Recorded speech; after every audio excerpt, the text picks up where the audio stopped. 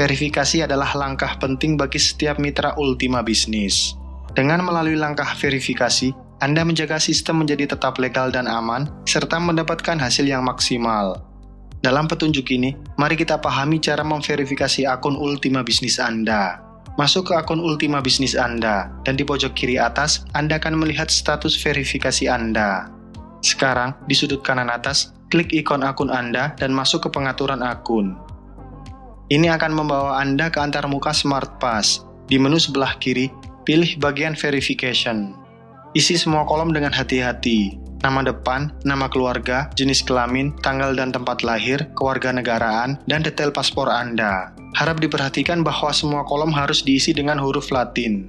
Penting, saat mengisi formulir, tidak diperbolehkan menggunakan simbol seperti koma, di kolom tempat lahir dan diterbitkan oleh, dan titik, di nama.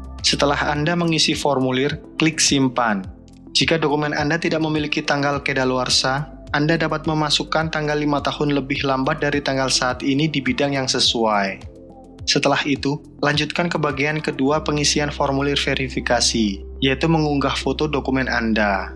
Anda perlu mengunggah dua file, foto atau pindaian halaman utama paspor atau kartu identitas Anda, dan foto atau swafoto Anda yang sedang membuka paspor di halaman utama.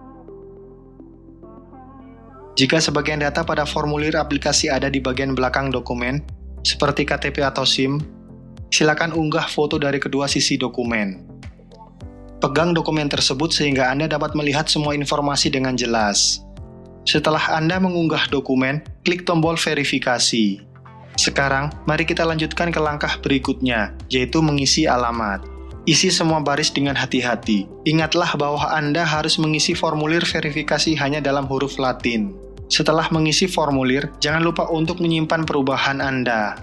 Jika negara Anda merupakan bagian dari Uni Eropa, Anda juga perlu mengonfirmasi alamat rumah Anda dengan mengunggah dokumen verifikasi alamat. Anda harus mengunggah foto atau pindaian halaman utama paspor atau kartu identitas Anda. Jika Anda tidak memiliki paspor atau kartu identitas, foto atau pindaian dokumen resmi lain atau laporan kartu kredit, tanda terima utilitas, surat dari lembaga pemerintah, dokumen asuransi, laporan bank, dan tagihan telepon dapat digunakan. Dokumen tersebut harus dikeluarkan setidaknya tiga bulan sebelum tanggal pengunggahan. Harap diperhatikan bahwa dokumen harus dalam format JPEG atau PNG. Jika negara Anda bukan bagian dari Uni Eropa, Anda tidak perlu membuktikan alamat Anda. Harap diperhatikan, kami menerima dokumen dalam bahasa yang menggunakan abjad Latin dan Sirilik. Jika dokumen diterbitkan dalam bahasa yang menggunakan alfabet lain, maka diperlukan terjemahan yang disahkan oleh notaris.